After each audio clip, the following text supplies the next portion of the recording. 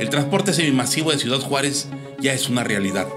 El proyecto largamente soñado, que atravesó por serias crisis políticas, gremiales y legales desde su diseño original hasta su implementación, es el primer paso del proceso de modernización del servicio de transporte público de pasajeros que Ciudad Juárez demanda.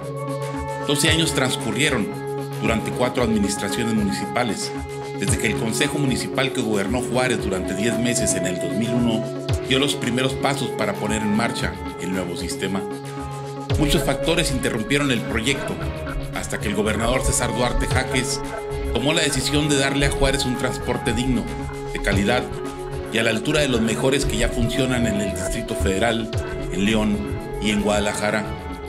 Pese a las resistencias de los viejos sindicatos del transporte urbano de la ciudad, el Vivebus Juárez comenzó a circular con mucho éxito el 30 de noviembre del 2013 y rompió con los pronósticos negativos e intereses políticos que por más de una década impidieron su funcionamiento.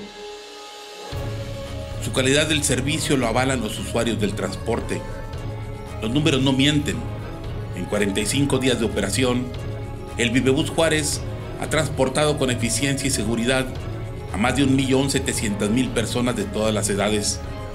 Con 50 autobuses Mercedes-Benz modelo 2009, el Vivebus mueve diariamente 38.000 pasajeros a lo largo de 25 kilómetros en 34 terminales, que forman la primera ruta troncal desde la presidencia municipal hasta Tierra Nueva.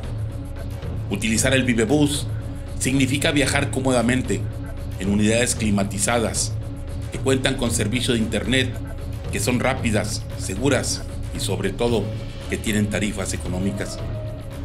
La primera de cinco etapas se ha consolidado porque el usuario se adaptó rápidamente al cambio. La segunda fase, que cubrirá la ruta desde el aeropuerto hasta el viaducto Díaz Ordaz, será una realidad en el 2016.